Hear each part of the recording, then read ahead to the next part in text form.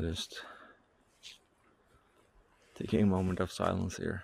It is is incredible. There's some clouds now, so I don't have too much sun here, but it's no matter where I look now, there's no roads, no buildings, no people.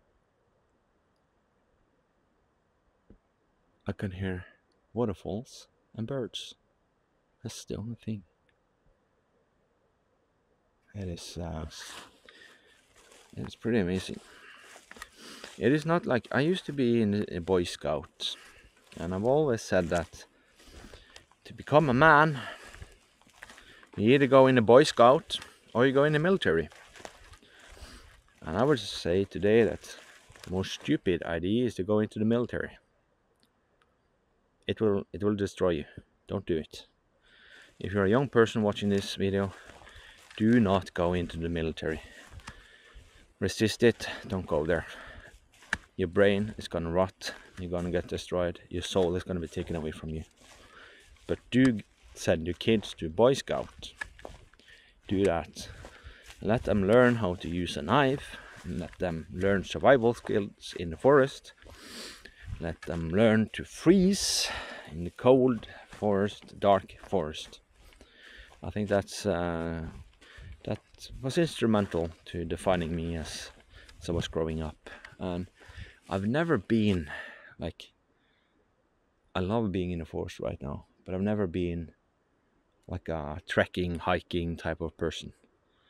And I'm I'm not I'm still not that kind of person. This is not what I do every day. I don't go out here in the forest. I sit on the computer a lot because um, I'm into IT and stuff. But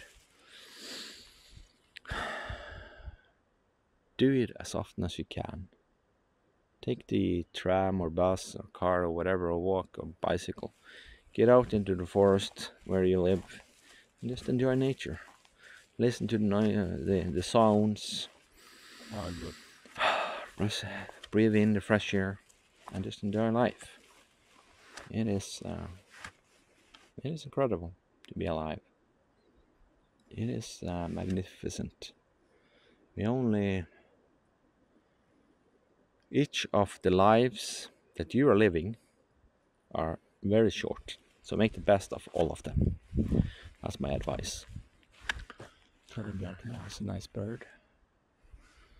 And um, yeah, get out, and enjoy the forest, and I'll see you soon again.